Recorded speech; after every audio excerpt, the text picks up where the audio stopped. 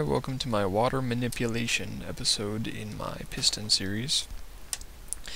We're going to start rather small with the basics and just apply those concepts in uh, more complex ways as I go along. So the most basic thing you can do with pistons involving water manipulation is block the flow of water using pistons. So as you can see, the water is blocked off right there. And then when we flick it back, the water flows again. The next thing we can do is control the flow of water in a specific direction using multiple pistons. So here we have a piston up top that's pushing down, and a piston on the left that pushes to the right. Now we can control whether the water goes horizontally or vertically by flicking the switch.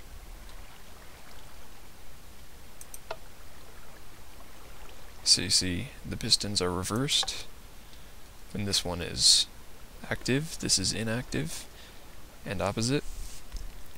All you have to do for that is just take the power from your lever, invert it, take it up some stairs and around and attach it to your other piston so that this inverter makes sure that when this piston is active, the other piston is inactive, and vice versa.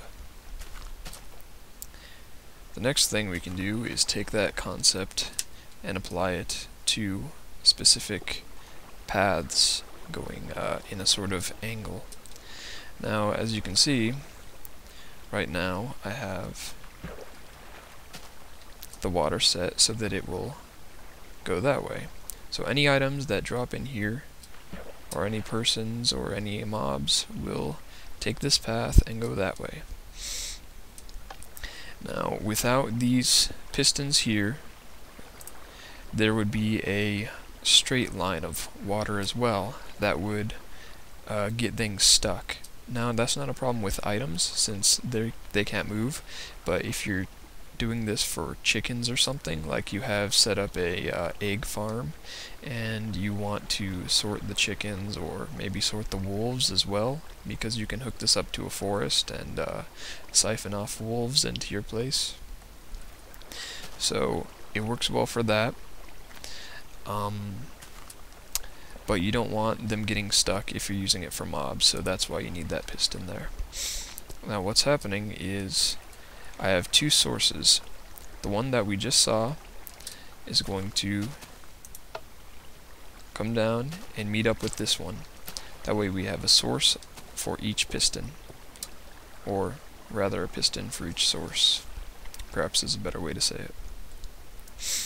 So that way, um, whenever we flip the switch, it reverses so that the other piston goes down, this one goes up, and then this water source is funneling water around, and this piston is preventing any uh, straight lines of water, just like on the other side.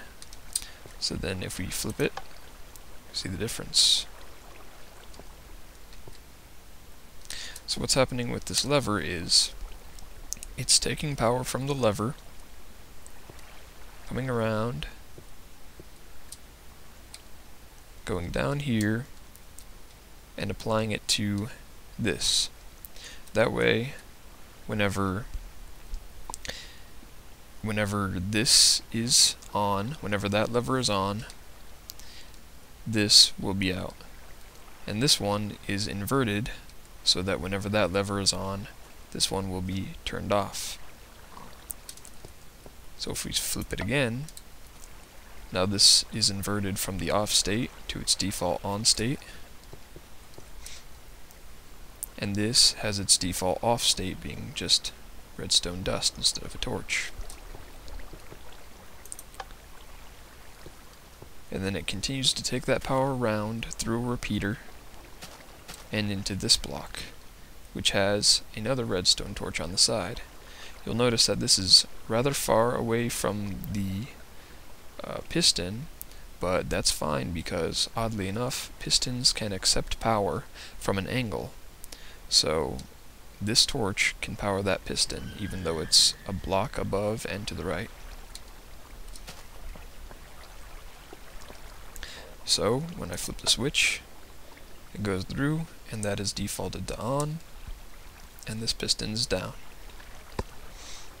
This lever is also not only powering the wire, but also this piston here.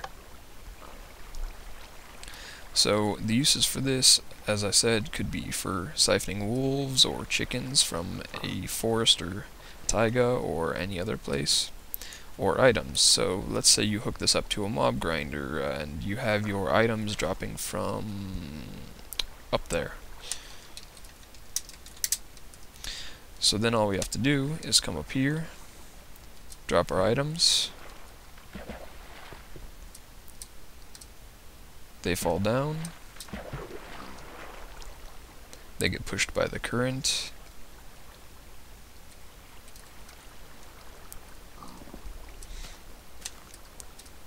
and into our collection area.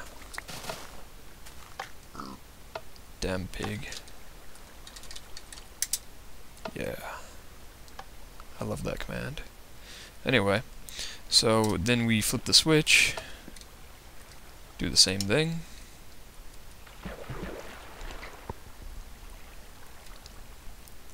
Drops down. And this time the current pushes it to the left. Into our other drops, or collection zone.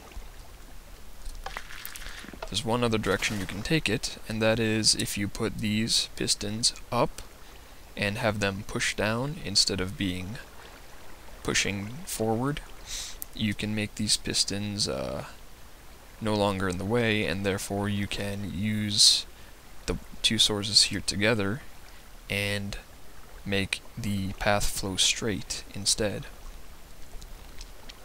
However, that would be a little bit more involved. So this is what happens when you do that, but take it to 3 wide instead of 2 wide for the initial path. So down here is where everything takes place. We just have our three pistons with three water sources behind it.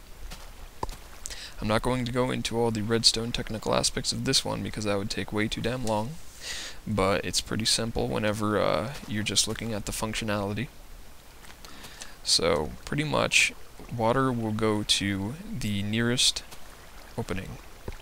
So if this is the nearest opening, the nearest drop down that is, it will flow in the direction of the hole and pretty much nowhere else and same applies to this and this. So we can use that to our advantage in some ways, and also in many ways it really gets annoying, but we can manipulate it so that using pistons we get to where we want.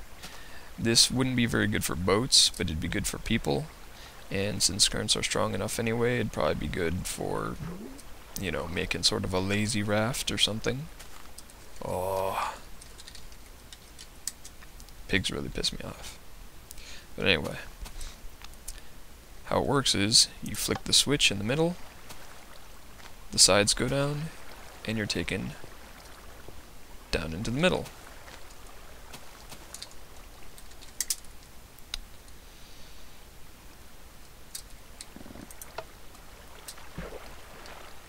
And then, when you flick the right switch, the left and the middle goes up,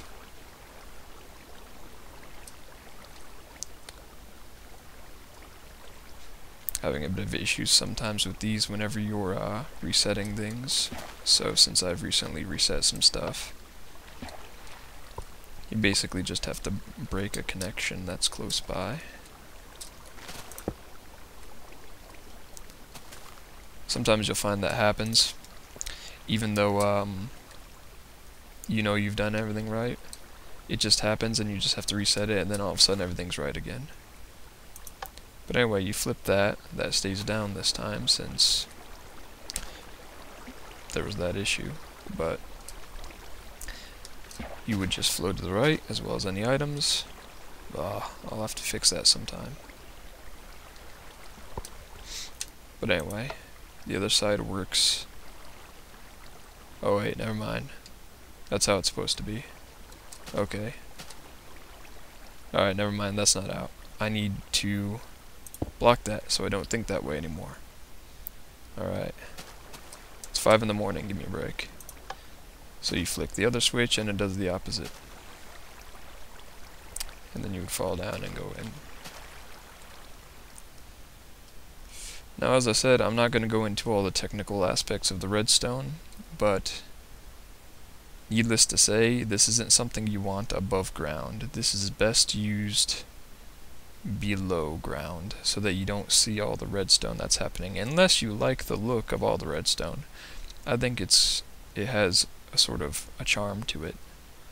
But it's also griefer bait, so it, it wouldn't be very good on SMP. In fact, even given the fact that, you know, it could be hidden in adminium, it's still not good to have an SMP because, I mean, there's a lot of redstone here. The redstone lag would just be ridiculous. So, using just this simple concept over here, this first initial concept, you can do a lot of complex stuff. Pretty much anything you need involving water manipulation can be done using just pistons. So that's all for now. See you next time.